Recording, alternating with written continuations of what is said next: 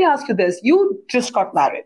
Um, you this film is a portrait of a marriage. There are many kinds of marriage, but when we talk about women in marriage, you know, uh, there's a whole different pressure on women.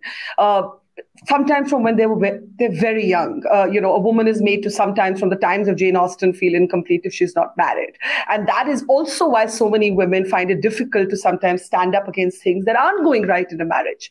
What does the Institute of Marriage mean to you and your your generation? I say your generation like a real auntie G because I'm like years older, and I'm curious to know.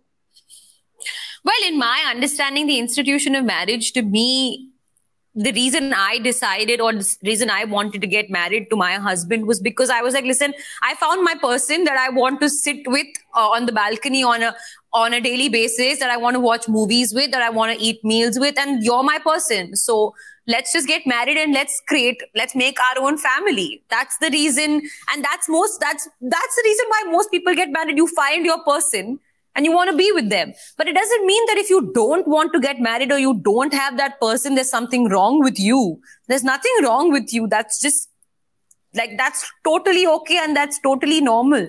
Um, I'm a deep romantic at heart. Um, but having said that, it's not like I one of those. I was one of those girls who wanted to get married all my life. You know, like you think about marriage from your uh, childhood days and you're imagining the day of your wedding and what you're going to wear. I was not like that at all. I was like, no, no, I want to work. I want to work. I don't have time to think about marriage.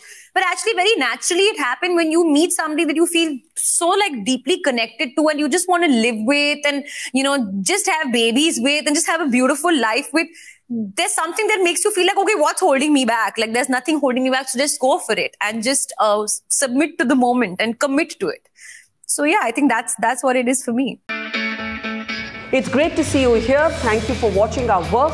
If you haven't subscribed yet, don't forget to click the bell icon and subscribe to Mojo Story and support independent, robust journalism.